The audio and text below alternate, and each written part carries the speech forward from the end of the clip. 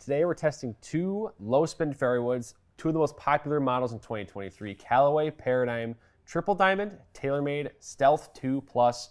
Kevin is here to hit the shots, and we'll show you all of the TrackMan data today. Golfers, if you haven't yet, make sure you subscribe to the channel. You give this video a like, and then tell us in the comments which of these two fairway woods do you like better. Hey golfers, I'm Drew Mahowald of Second Swing Golf, joined by Kevin Kraft today, a master club fitter at Second Swing Columbia. Today we're in the tour van at Minnetonka with two low spin fairway wood options for 2023, the Stealth 2 Plus Paradym Triple Diamond. Um, I know this is especially interesting to you, Kevin, because you are potentially playing one of these this year. So check out the What's in the Bag video if you haven't seen it yet uh, to know which one exactly that is. But uh, Kevin, this should be a good one. Yes. Uh, so we've got two big heavyweights going Yeah. at it head to head. See see how these two come out, right? Uh, low spinning fairway woods typically tend to be for those guys who have pretty good power, create good Yeah. trajectory, uh, or guys like me who don't necessarily have great power or great trajectory, but I need a driver replacement on for a bunch of holes. So um, what we're going to hit today, I've got geared up the way I would normally play it. Uh, go see a fitter. Make sure that these are geared the way you need them. Uh, try them both out. See what you think. There's uh, there's some differences. Look, feel, sound. Well, see about the performance. Right, right. And ultimately, that's the kicker, right, in all Correct. these fittings. Yep. But um, one thing too, we should we should touch on is kind of the the big weight on the back of that Stealth 2 Plus. I know if you haven't seen our initial swing report video on the Stealth 2 Plus, go check it out. But that big weight, we kind of decided it was a game changer, right? Because it that's a lot of weight to be able to move in a club head. I don't think I've seen that much weight in a club head, at least in some time. So with this test, we've got it up forward because I know you're if, if you're looking for that kind of driver replacement, I you'll want want that as far as possible. you'll want that spin a little lower to Yep. chase out there. Yep. Um, but if we were to do some more tinkering with it, and you can wa- move that weight back, and you can really see, we saw in that video some quite difference, uh, quite a bit of a difference in that launch and spin. So something worth noting there with that one. Yeah, I mean, we got effectively, according to TaylorMade, 500 RPM Yeah. of difference, and definitely it's going to be a different launch window. Putting Mm-hmm. all that weight in the back makes the head a little more stable, a little more forgiving. Throwing that weight forward, a little more demanding, Mm-hmm. but boy, it's going to press that spin down. Right. So let's kind of go through initially what these lofts are stated at, and then kind of what they're adjusted to, right? So 15 degrees is the stated loft for each of them. Correct. Triple diamond and stealth 2 plus, but I know you made adjustments to both. Yes. Let's talk through what those are now at. Okay, so based on what the what each cog allows us to do, uh, the Callaway Paradym started at 15. It's down to 14. We got one degree uh, in, Okay. in less loft. Can do two uh, degrees higher loft. The Stealth 2 Plus has two degrees of adjustability up and down. So it's going to be uh, it'll be an interesting fight. Uh, Yeah. I do have them pushed all the way down, so it's 13 versus 14. Yep. So ball speed's going to probably end up ball speed and spin will be the Mm-hmm. king here. for Sure. Well, you ready to hit some shots here? Absolutely. All right, let's do it. Okay.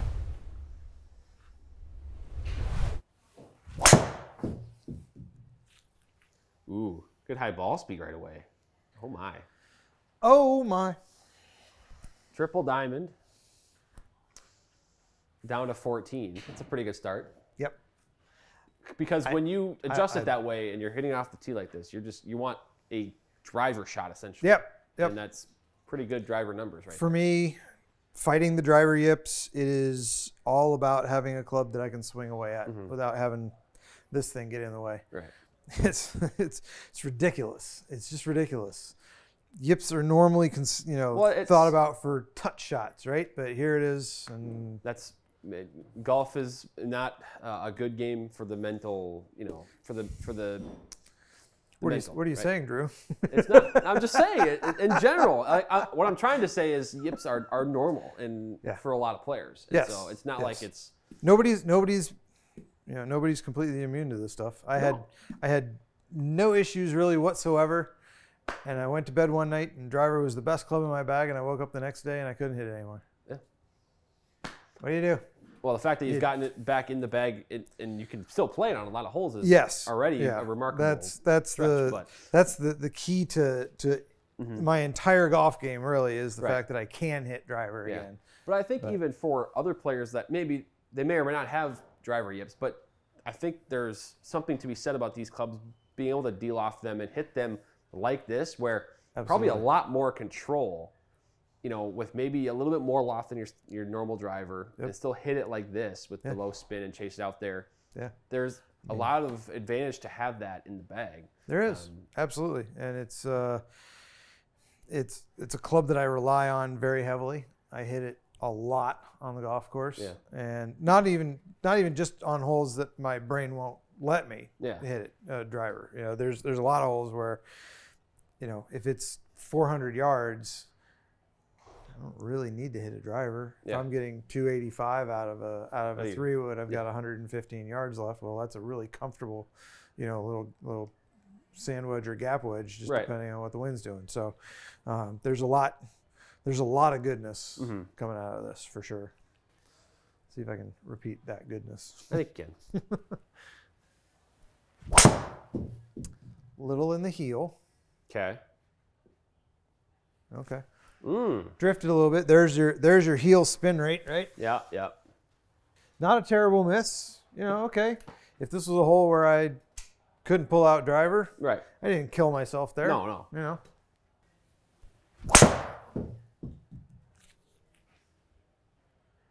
There you go. That's more like that first one. Yep. You want to get one more good one like that first Sure. one then? Sure.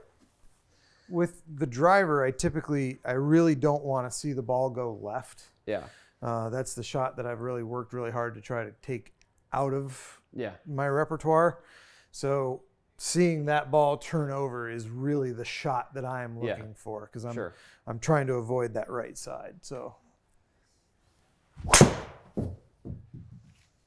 Yeah, that pretty good ball speed, just kind of over 150 there. just hung. I thought that one was actually going to turn a little bit. Okay. All right. Okay.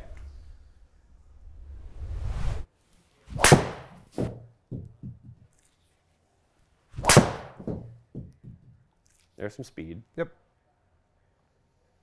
Yep. Interesting. Okay. A little Carry numbers more, on both of those two were al- almost identical. a little tiny bit more spin. I got that one pretty good. I thought.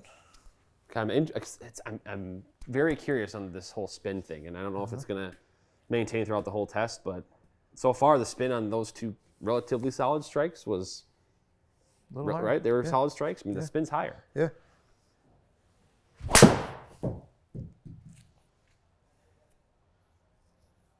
Okay. Okay.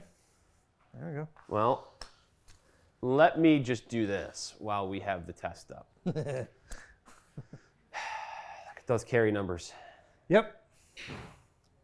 257.5, 258.6, 258.6. That'll work. Yeah. That'll work. That'll work. Um, but it, it's interesting though, as we talked about the loft difference and everything, right? The Yeah. triple diamond is going further so far. A little hotter and a little lower spin. So, deep dive. We got a little more club head speed off the Paradym. We did. Ball speed was up, but it was predictably up because smash factor on both was 147. Yep. So they're both being struck the same way. A tad more spin, right? Uh, overall, if I got the club head speed here to 104, I believe we'd be very, very similar. So, and one thing I'll ask, I mean, I guess club speed, the club speed isn't that different. It's about 1.2 miles Yeah. an hour. Um, so we got as close as we could with the kind of shaft offerings that TaylorMade and Callaway provide with these Yep. clubs. So Kai'li Red with the TaylorMade and Ventus Red with the Triple Diamond. Um, so maybe slight difference there, but otherwise, I think the, the, the thing that I'm looking at is the launch angle. And I thought I saw it when you were hitting. 16 to 13.4. It was interesting. That's interesting. Now, maybe off the turf, we see something different, but Okay, attack angle a little bit shallower. Sure. Or sorry, a little. It is well, a little shallower, yes, in the uh, in the Paradym, which is interesting. That's just that's a function of me more than the golf club. Um, yeah, I don't know. That's it's interesting. I- about the same. Height was actually lower with with the Paradym. right. I mean, look, Yeah, it's just, I- it's just it just seems like again off the tee, the Paradym Yeah. triple diamond's functioning more as that chaser, yeah, which is yeah. I mean it. It's interesting. I guess I that's the.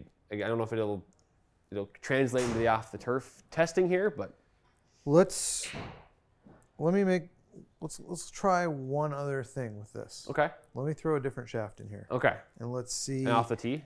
yes, I like that. I like that. Okay. see if I Okay. can create that Okay, okay. difference.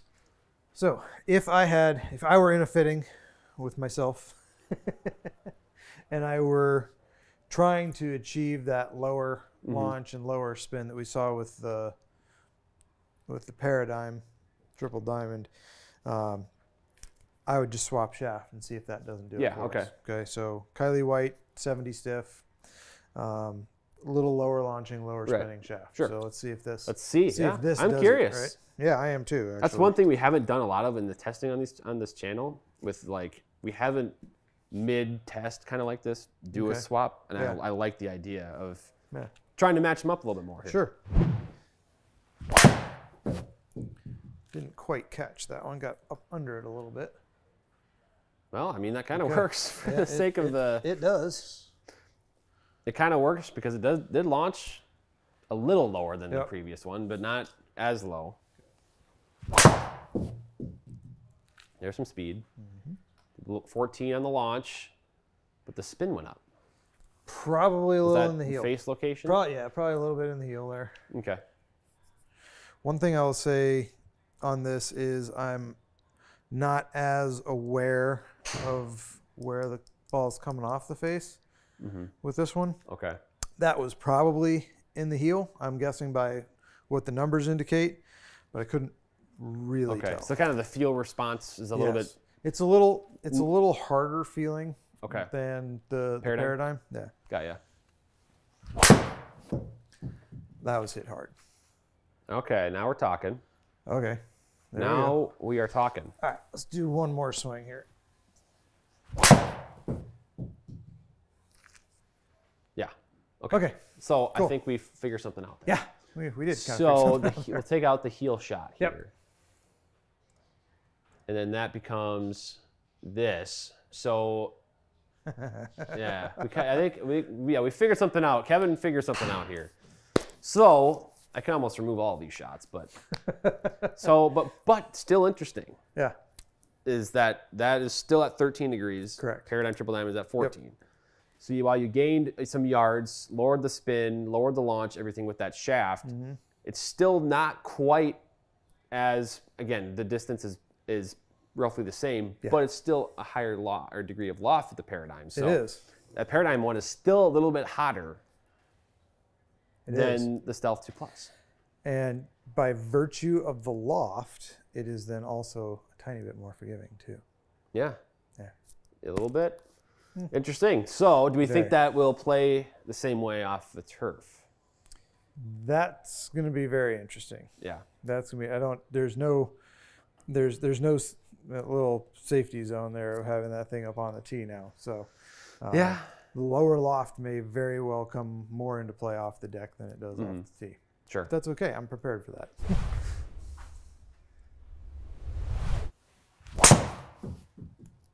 That sounded really good. Might be a little left. Not much left. Okay, cool. Interesting. That's a heck of a shot, though. Thank you. I mean, look at that attack spin, angle. That, that is how you optimize fairway wood off the turf is by a 0.0 attack angle.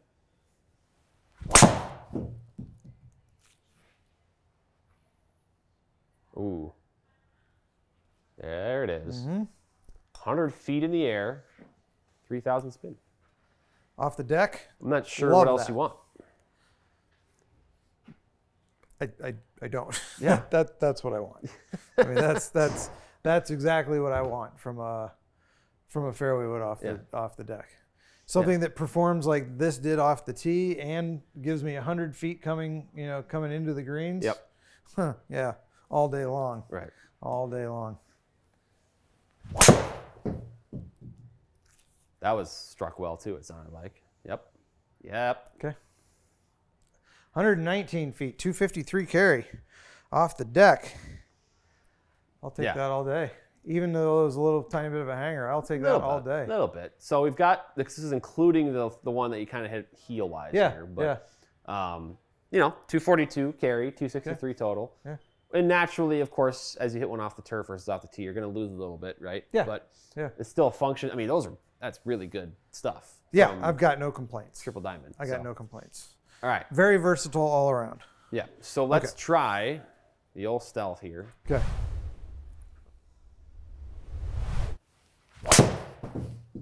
Definitely launched low. Yep. Okay. Probably in the same spot as my first Callaway swing, actually. Yeah, actually. probably a little heel. Yep. There it is. There it is. I can tell this time.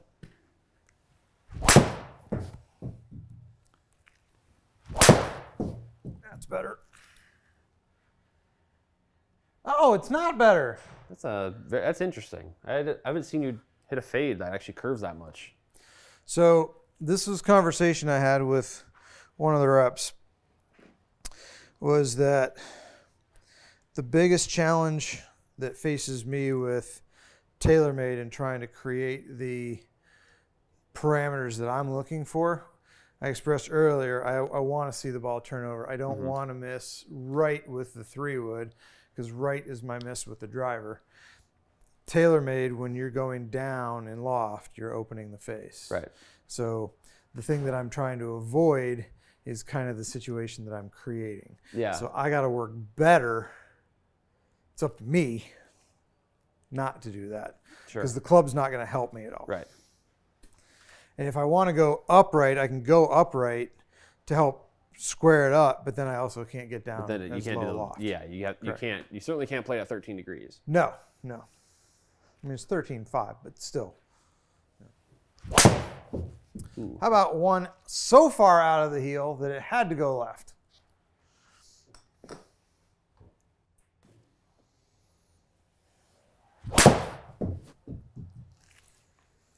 She's just not coming together with this one. Well, so all right, this is a good comparison then. it, it is. It is. Because if you're at this point in the video and you did watch Kevin's What's in the Bag, this isn't a huge surprise to you, given what he talked about as the club in his bag Yeah. after driver.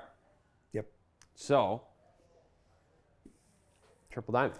Triple diamond. Yeah. Only difference was we're on the standard triple standard triple diamond. I have the 13.5, which I then down. have cranked down so that it's actually lower than this one. Yeah. But I also have it on the draw setting. Yeah. Being able to run those things independently is good for Yeah. me because again, we start pushing that loft down and it gets harder and harder to right. square Right. up. So you're able with the Callaway cog, you're able to Yep. Yep. do draw and move it down, and Absolutely. That was poked. That was the best one. Okay. Still losing it. Yeah, still still losing it to the right. that. Yeah. so we have a lot of data here, right? Yeah. Let's just kind of, I'm going to break it up into um, two here so we can kind of see the map and see that. So now this was the Stealth 2 we hit with the previous shaft. I'm just almost going to remove this, right? Yeah. Because we realized that that, was not the shaft we Yep. should need for this test Nope, to get. that one did not. It did not Okay. measure up. We Yep. made the Kai'li White so that was the could get it shaft to that we were looking Yep, for here. for sure. So, and then with Paradym, we're moving it down one degree in loft.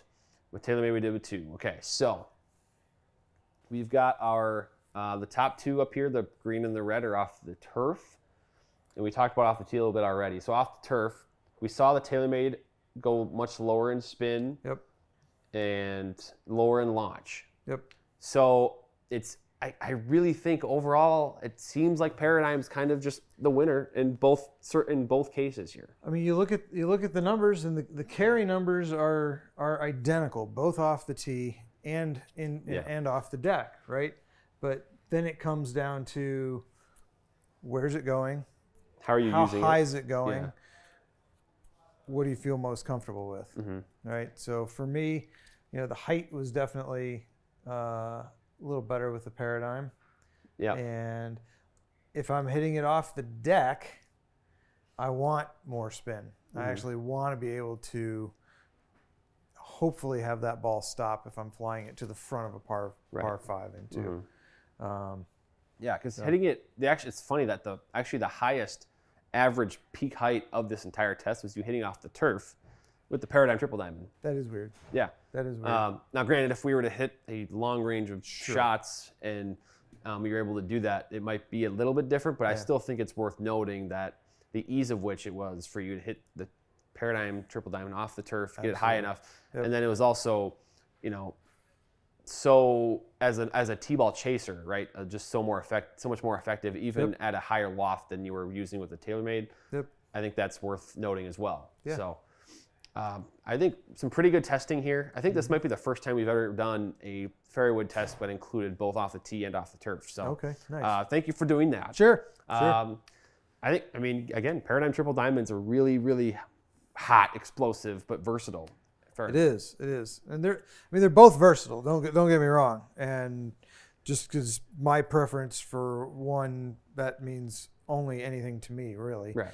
Um, come in, test them both. Yeah. Right. Let's let's let's see what what anybody else Yeah. wants. Yeah. Right. And it's uh, just because I play that one, I am not biased towards that club whatsoever. Yeah. Because what works for me may not work for somebody else. Right. But we saw how things can change just through a shaft change. Yep. Right. And you know, making some adjustments to the loft or lie angle or whatever, we can we can get people dialed in Yep. exactly And where we they didn't even move that weight on the on the sole either. Nope. So that's something Nope. that you know we've done a little bit uh, uh, in the original swing report video. We tested some of that, but as Kevin said, come in and get fit for one of these two fairway woods if you need one. Uh, these are both really explosive. They're going to give you a bunch of distance and speed. Uh, just make sure you get the one that's right for your swing in your bag. So, Kevin, thanks for the testing. Absolutely. Really good stuff today. Um, a lot of information for the viewers out there. Yeah. Yeah. Good stuff.